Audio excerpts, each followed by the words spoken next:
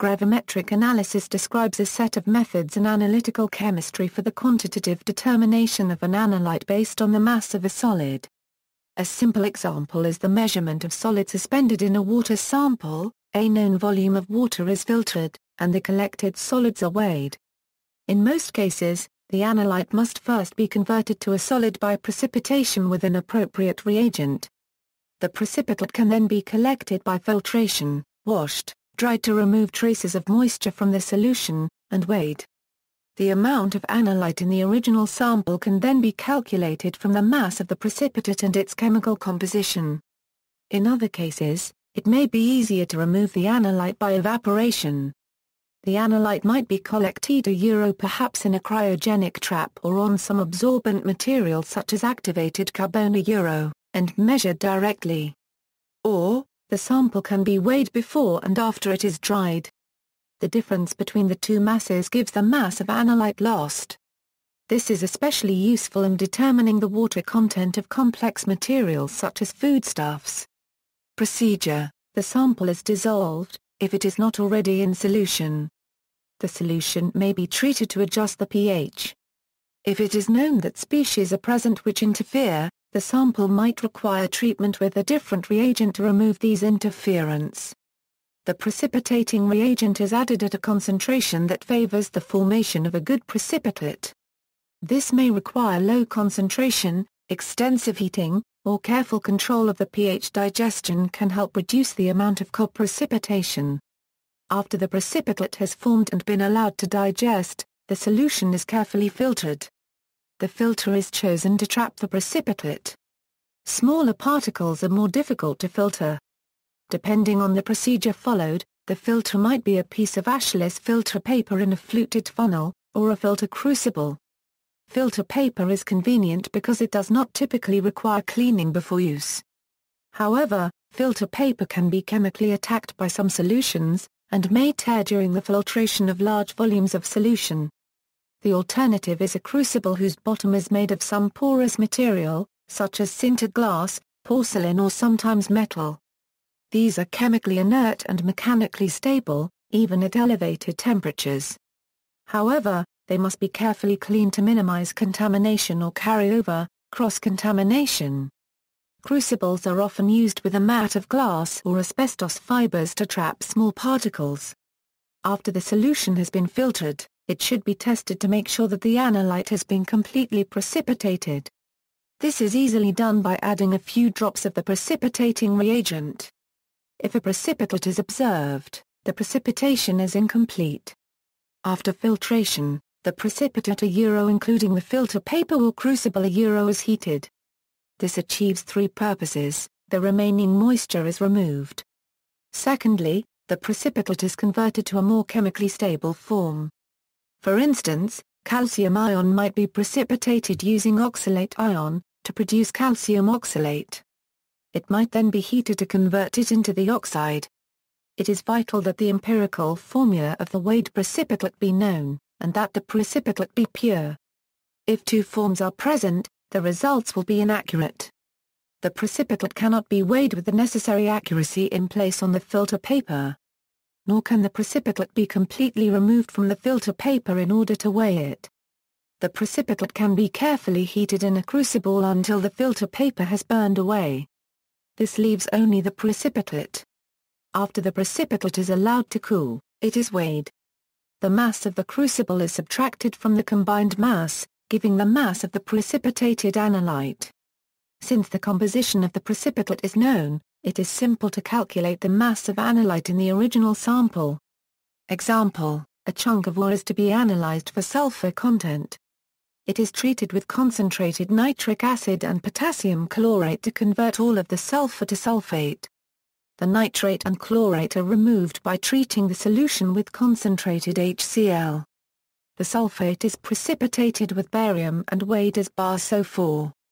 Advantages, gravimetric analysis, if methods are followed carefully, provides for exceedingly precise analysis. In fact, gravimetric analysis was used to determine the atomic masses of many elements to six-figure accuracy. gravimetry provides very little room for instrumental error and does not require a series of standards for calculation of an unknown. Also, methods often do not require expensive equipment. Gravimetric analysis, due to its high degree of accuracy, when performed correctly, can also be used to calibrate other instruments in lieu of reference standards. Disadvantages Gravimetric analysis usually only provides for the analysis of a single element, or a limited group of elements, at a time. Comparing modern dynamic flash combustion coupled with gas chromatography with traditional combustion analysis will show that the former is both faster and allows for simultaneous determination of multiple elements while traditional determination allowed only for the determination of carbon and hydrogen. Methods are often convoluted and a slight misstep in a procedure can often mean disaster for the analysis. Compare this with hardy methods such as spectrophotometry and one will find that analysis by these methods is much more efficient. Steps in a gravimetric analysis After appropriate dissolution of the sample the following steps should be followed for successful gravimetric procedure. 1.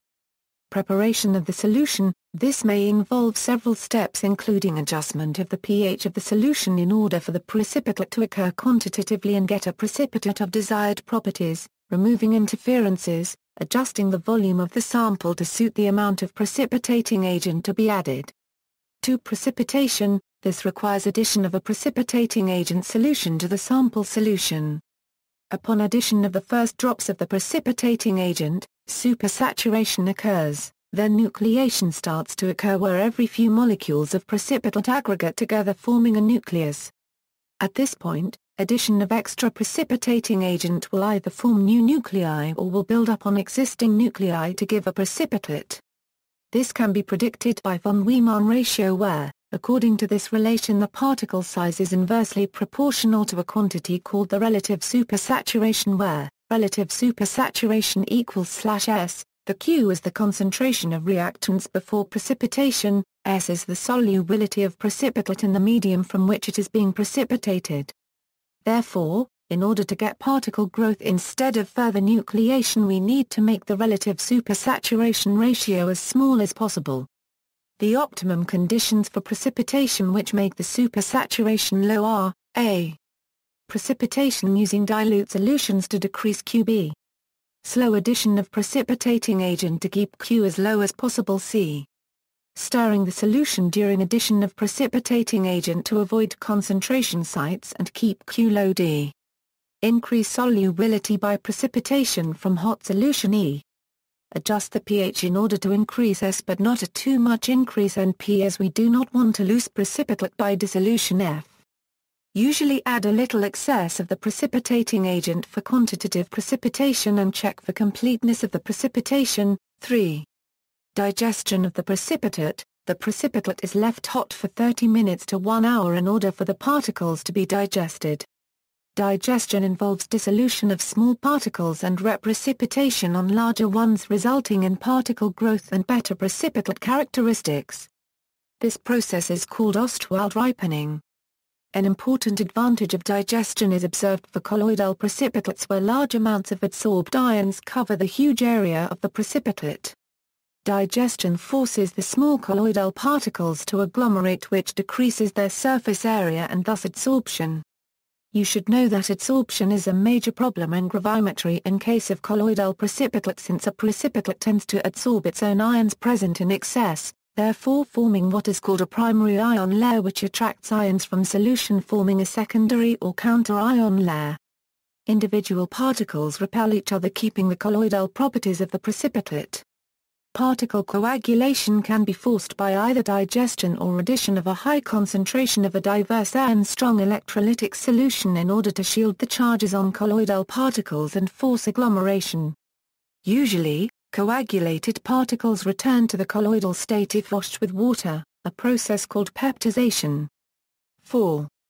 Washing and filtering the precipitate, it is crucial to wash the precipitate very well in order to remove all adsorbed species which will add to weight of precipitate.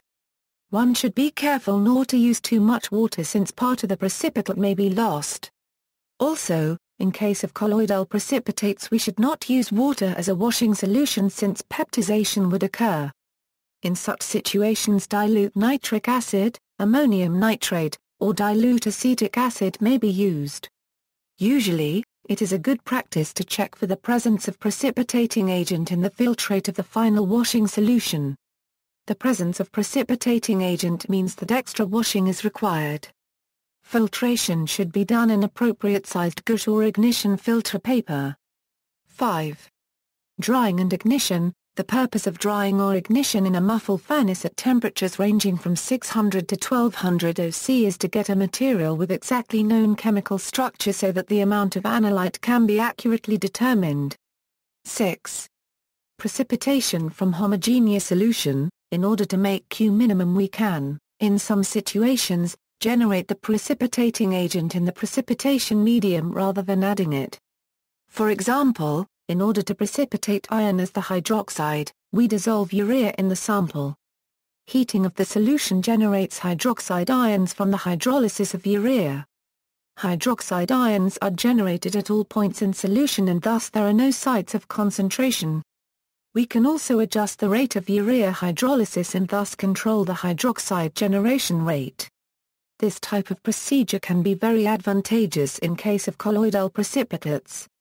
Solubility in presence of diverse ions, as expected from previous information, diverse ions have a screening effect on dissociated ions which leads to extra dissociation. Solubility will show a clear increase in presence of diverse ions as the solubility product will increase. Look at the following example, find the solubility of AgCl in 0.1 m NaNO3. The activity coefficients for silver and chloride are 0.75 and 0.76, respectively.